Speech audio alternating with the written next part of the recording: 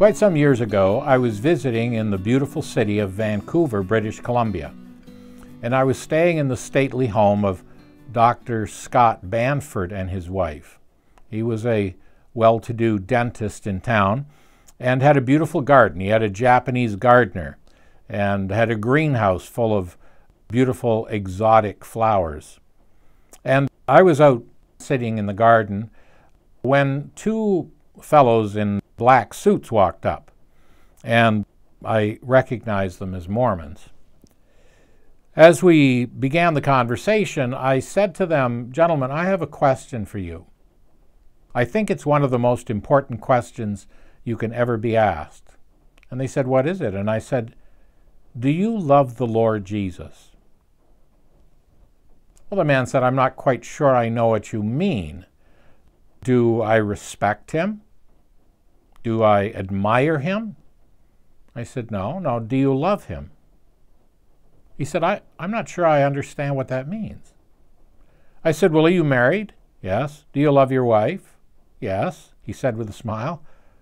I said, Oh, so you do know what I mean. Do you love the Lord Jesus? He said, You know, I, I can't say that I do. And I said, You know, that's an honest answer because you can't love someone if you've never met them.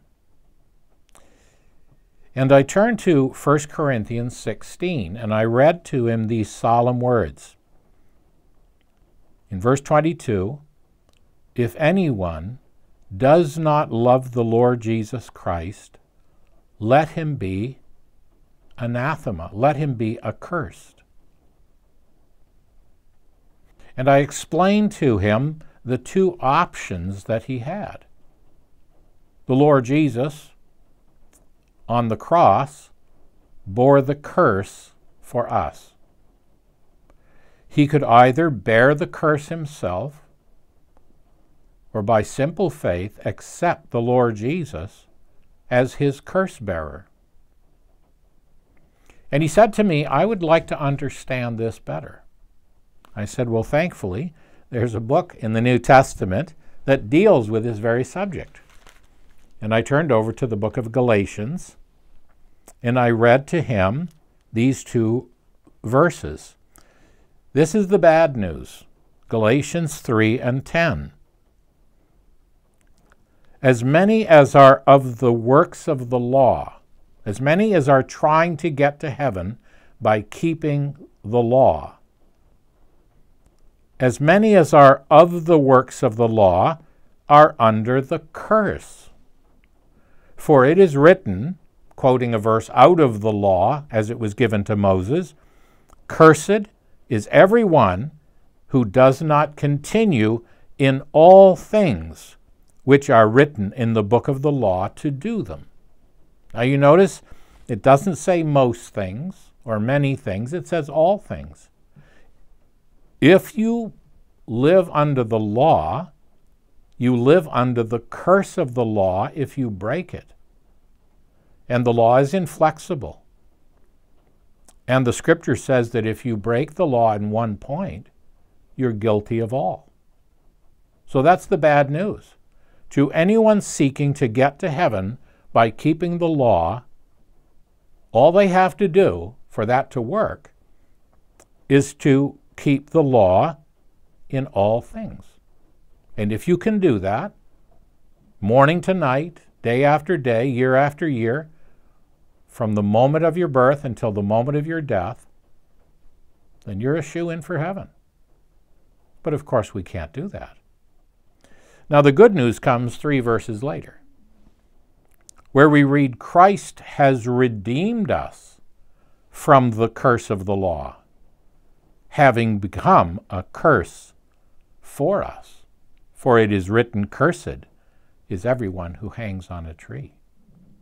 And so the Lord Jesus willingly went to the cross of Calvary in order to bear the curse of a broken law for us. So these are our options. Try to live by the law and come under the curse of a broken law. And hear the words again if anyone refuses, if anyone will not love the Lord Jesus, he is accursed. Why? because Christ is the only antidote to the curse. But if you are willing to accept Christ as your Redeemer, then Christ has redeemed us from the curse of the law and borne the curse so that we can go free. He thanked me warmly, said he'd never thought about these things, and I asked him to think seriously about them. Until you meet the Lord Jesus, you can't love him, and you can't meet him rightly until you make your way by faith to the cross. That's where Christ is revealed as the Redeemer and the curse bearer who came to save us and open heaven to us. Well, may the Lord encourage our hearts with this very simple explanation of the gospel.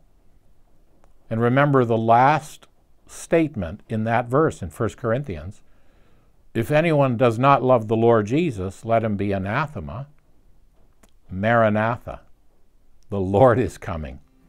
And so it's incumbent on us to share this gospel while there's time, because we never know what day will be the last day before the Lord returns.